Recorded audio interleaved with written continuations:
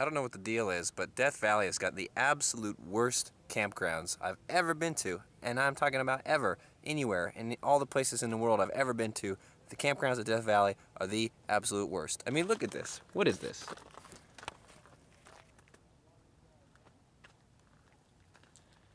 It's just a gravel lot. Now, as I recall, there's another campground up in the hills over here, which is slightly more scenic. But the sites are just right on top of each other, like they are here, separated by walls of rocks. Uh, yeah, I don't know. Death Valley, come on, get your act together. On the plus side, it's cheap. It's only 12 bucks. So, easy place to stay for the night. But man, oh man, come on. For tonight's sunset, I'm coming to you live from the Mesquite Sand Dunes in Death Valley National Park. And I'm headed out here to those Dooney Dunes. Look at those lines and shapes and textures. Ah, it's going to be great. And I'm hoping that the sunset is going to be beautiful. They're all hard to see with this camera, I suppose, but lots of beautiful textures and things like that in the sky. Lots of bubbly little clouds on top of other layers of clouds. So hopefully when the sun goes down, the thing lights up with a lot of color. But uh, I got to get a move on because it's coming. Well, even though it's wintertime, I think it's going to be darn near impossible to find some dunes that aren't covered with footprints. I mean, you can see them here, just footprints everywhere, absolutely covering all the dunes. So we'll see how far we have to go out there to get to somewhere that's pristine. Uh, hopefully we won't be walking by the time the sun starts to set. But, uh, what are we gonna do? Well, I found my spot. There's, it's footprint free and lots of beautiful textures, patterns. There's a little bit of, uh, I don't know what this is. Is this mesquite? Bush? I don't really know. But look at these beautiful textures here in the sand. And they flow down, and I love this, this little slope right here, this perfectly straight lines. The only thing that's ruining it all is this.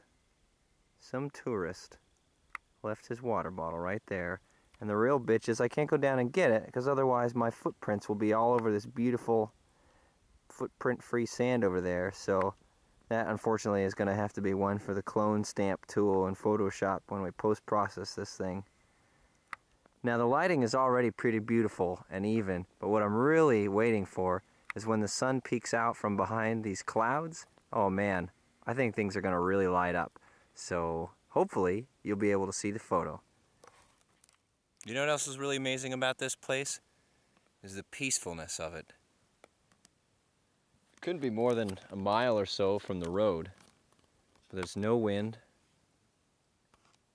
there's no sound.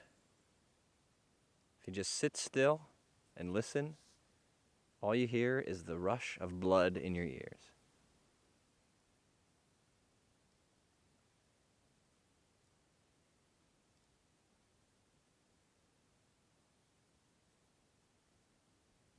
Isn't that something? Isn't that something?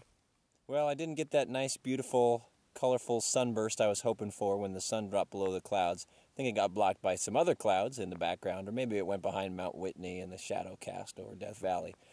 But I don't really mind because the lighting I did get was just very beautiful, very even and subtle. You can see it's still very, very light out, uh, and just this beautiful, beautiful light coming down over the, the dunes. Just so peaceful out here, so lovely. There's all my gear. Man, oh man, look at this beautiful face right here. All these silly footprints and then whew, so smooth. Great place. I heard somebody. Let's see if we can find them.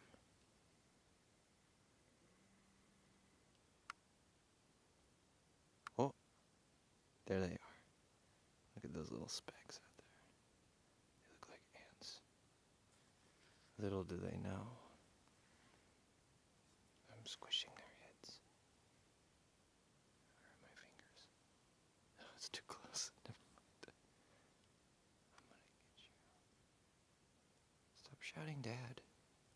He's right behind you.